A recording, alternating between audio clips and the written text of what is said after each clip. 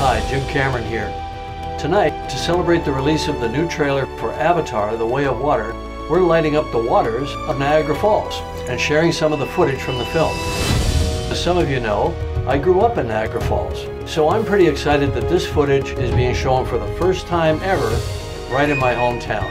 And not only that, but coming to life over the backdrop of one of the world's great natural wonders. Make sure to go see Avatar The Way of Water in theaters December 16th.